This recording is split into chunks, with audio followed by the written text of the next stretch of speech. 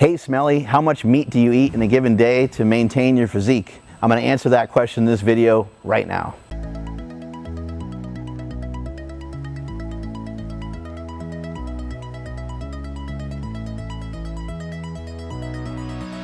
Anybody else got questions? I got answers. So put them in the comments below. Thank you guys so much. Make sure you're subscribed and make sure you're checking out all the latest content because we are killing you with content all the time here.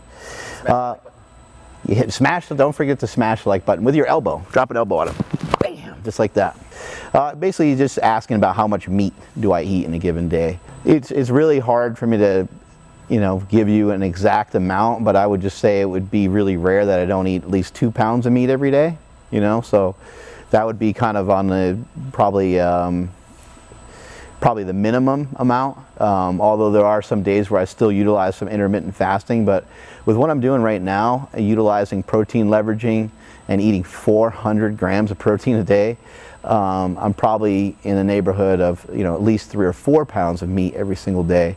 Um, and then I'm supplementing uh, my protein as well with whey protein, which there's a lot of great research. Whey protein is probably the most researched supplement that there is.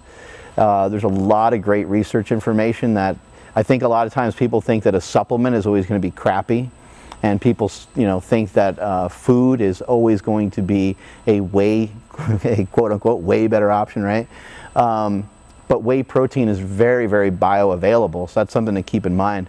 Uh, eggs have great uh, bioavailability, uh, so does meat, especially red meat. You're going to be able to absorb uh, almost all the nutrients that, well, I shouldn't say all, but you're going to be able to absorb a lot of the nutrients that come from red meat. Whereas you start to get into other foods, you get into vegetables, and they have anti-nutrients and so on, and it's just a little harder for your body to um, you know, digest and kind of get through all that stuff. And so whey protein is, is a fantastic thing to supplement. So for me, I'm over, you know, I'm, I'm 400 grams or so or more of protein every single day. And uh, I would say, you know, on a low end might be two pounds of meat. On the higher end might be uh, four pounds of meat. But keep in mind, I am supplementing the diet with some whey protein to make it a little easier. I'll also have some cottage cheese here and there. I'll have some uh, yogurt uh, here and there as well, which also helps boost up the protein. Strength is never weakness, weakness never strength. Catch y'all later.